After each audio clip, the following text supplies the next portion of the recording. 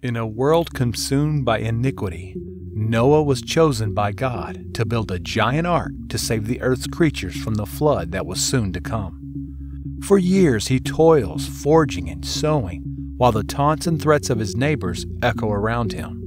But Noah knew that his mission was predetermined by God, and he continued to work, trusting in God's guidance and protection. At last, the day came when the rains began to fall and the waters rose to engulf the earth. Noah and his family, along with the animals he had gathered, huddled in the ark and waited for the waters to recede. When the ark finally came to rest on Mount Ararat, Noah came out, blinking in the bright sunlight, to survive the new world that he had been born from the destruction. More than once, archaeologists and scientists have been skeptical of the locations mentioned in the Bible. Many times, however, they end up finding what they're looking for exactly where it is listed in the ancient book. Where is Noah's Ark today? How many researchers have searched for it over the years? What did they find on Mount Ararat? These are just some of the questions we will be seeking answers to in this video.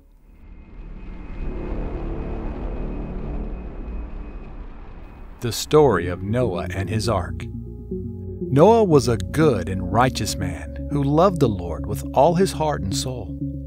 One day God spoke to Noah and told him that he would send a great flood to destroy the earth, but that he and his family would be saved if they built an ark and gathered two of every kind of animal on earth.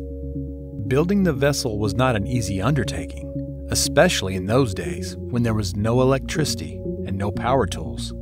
But Noah was determined to do what God commanded him to do so so he set to work, forging, cutting, and shaping the wood with his own hands. For many years he worked tirelessly on the ark, even when the people around him mocked him and thought he was crazy. However, he did not care about the opinions of others because he knew that he was doing the right thing by following God's will. And so he continued to build day after day until finally the ark was completed. When the day of the flood came, Noah and his family gathered in the ark, waiting for the storm to pass. For forty days and forty nights, the rain continued to pour, and the world became a vast ocean. Then the rain stopped, as suddenly as it came. The waters began to recede, and the ark rested on Mount Ararat. We find confirmation of this in the Bible. Genesis chapter 8, verses 3 through 6. Little by little the waters receded from the earth, and after 150 days the waters began to recede. And on the seventh day of the seventh month the ark rested on the mountains of Ararat. The waters receded continually until the tenth month, and on the first day of the tenth month the tops of the mountains appeared. Then, after forty days, Noah opened the window of the ark which he made when God tells them Noah and his family leave the ark to explore the new world they had been born from the destruction. After looking around, they see that everything is different now. The world is fresh, new, and full of possibilities. As they look toward the horizon, they realize they've been given a second chance, a chance to start over and make amends. Undoubtedly, the story of Noah is perhaps one of the most outstanding biblical narratives most of us are used to accepting these parables as pleasant and instructive stories with mythological value. But is it possible that this story has left physical evidence and has been found for other places, events, and objects mentioned in the Bible? Where does Noah's Ark lie today? This question was asked long before we asked it in this video. Specifically, the first recorded expedition to search for Noah's Ark was conducted in 1829 and was led by a Frenchman named Felix Bonjour. He and his team climbed Mount Ararat in Turkey, but failed to find any trace of the Ark. Since then, numerous expeditions have been organized in an attempt to find the Ark. The biggest development related to the search for the physical remains of the biblical artifact was announced by a group of researchers from the Christian organization Noah's Ark Ministries International. They announced they have discovered the remains of the Ark, which they believe is buried under the snow and volcanic debris of Mount Ararat in Turkey. However, this claim has been met with skepticism because archaeologists and historians who have noted that no previous expedition to find the physical remains of the Ark has been successful. Now is the time to remind you to subscribe to the channel if you haven't already. Paul Zimansky, an archaeologist at Stony Brook University, says he knows of no previous expedition that has searched for the Ark and actually found it. The latest discovery claim was made by Turkish and Chinese researchers who are part of the international group Noah's Ark Ministries and who announced their findings in Hong Kong, where the group is based. Although the researchers stated they believe there is a 99.9% probability that the remains they found are from Noah's Ark, there is no conclusive evidence to support this claim. However, according to the research group, in 2007 and 2008, they discovered seven large wooden chambers buried near the summit of Mount Ararat at an altitude of 13,000 feet, 4,000 meters, above sea level.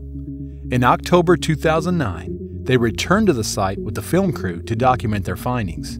The group claims that this discovery matches the final resting place of Noah's Ark, according to the Bible. Man-fai Yuen who is a member of the team, stated that the wooden structure they entered was divided into different spaces that was the same one mentioned in the historical accounts. The team claims that the radiocarbon dating of the wood taken from the top secret discovery site shows that the Ark is approximately 4,800 years old, which coincides with the time of Noah's flood, as suggested in the Bible. It should be noted that the claim has been met with skepticism and has not been verified by independent sources. In general, claims about the discovery have been met with a great deal of skepticism. Even scholar Todd Wood, who interprets the Bible literally, is skeptical. Wood is the director of the Center for the Study of Origins at Bryan College in Tennessee, which takes a creationist approach to biology. According to him, if the young Earth chronology is accepted, the radiocarbon dating, in which the radioisotope carbon 14 is measured to determine the age of organic objects, must be reinterpreted. Wood believes that the radiocarbon dates need to be recalibrated. He also believes that Noah's Ark will never be found. His theory suggests that the Ark was probably used for building materials after the flood. Wood notes that if you had just stepped off the Ark and there were no trees around, you would probably use the huge boat made of wood as a building material for a new home. Therefore, he believes that the ark was probably dismantled and used as building materials. Scientists defend their skepticism on the subject by citing several reasons. First of all, according to Jack Sasson, professor of Jewish and Biblical Studies at Vanderbilt University, the identification of Mount Ararat with Urartu, an ancient kingdom named Ararat in eastern Turkey, did not come until later. Also, there's no geological evidence of a massive flood in Turkey about 4,000 years ago. Paul Zimansky, an archaeologist at Stony Brook University, agrees that Noah's Ark International Ministry researchers are not following the archaeological, historical, and geological data. In fact, according to Zimansky, they play a completely different ballgame than the others. The archaeologist goes on to suggest that this may be a shrine erected by the early Christians in honor of the belief in the site of Noah's Ark.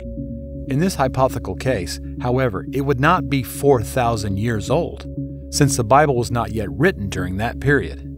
Biblical scholar Jack Sasson believes that the biblical authors intended the story of Noah's Ark to be an allegory rather than a historical account. The story was used to present a scenario in which mankind was punished for its wickedness, drawing attention to the idea of a benevolent God who expects mankind to be righteous. As if for now, the not so secret location of the Durupinar boat shape, Noah's Ark discovered on September 11, 1959, by Turkish Army Captain Ilhan Durupinar, paves the way for a far greater possibility of the ancient artifact's true location. It is believed that the remains of the actual Noah's Ark are buried in this boat shaped formation. Major research and interest in the site began in the 1970s to the mid 1990s. American researcher Ron Wyatt and others, including Turkish scientists, are working on the site. And in 2014 and again in 2019, additional independent private geophysical surveys of the Ark formation were done which showed layers and interesting angular structures underground. The new GPR data shows parallel lines and angular structures at depths of 2.5 meters 8 feet, to 6 meters, 20 feet. These parallel lines and right angles below the surface are something we should not see in natural or geological information. Interestingly, the fact that the formation of the boat is the exact dimensions of the ark mentioned in the Bible in Genesis chapter 6, verse 15, is also confirmed. And thus you shall make it. The length of the ark, 300 cubits, and its breadth, 50 cubits, and its height, 30 cubits. In the fall of 2021, a Turkish scientific team with American media, including the History Channel, began the most complete geophysical survey and scientific investigation of this site to date, using as many modern methods as possible. Unfortunately, scientific research will mainly focus on how to best preserve the object for future generations, which suggests that we will hardly know what lies beneath this formation at any time soon. Although there have been many expeditions and claims of discovery, the truth remains elusive to this day. Perhaps, after all, the charm of the story lies not in the physical existence of the ark, but in the deeper meaning behind it. The story of Noah and his ark is a symbol of hope in the face of adversity, of perseverance amid chaos, and of the power of faith in the face of doubt. Regardless of whether the ark is ever found, this story continues to encourage us to strive for something greater, to believe in something beyond ourselves, and to never lose hope in the face of adversity. May we continue to be captivated by the mysteries of the world around us. Subscribe to our channel because we don't want to stop exploring the unknown.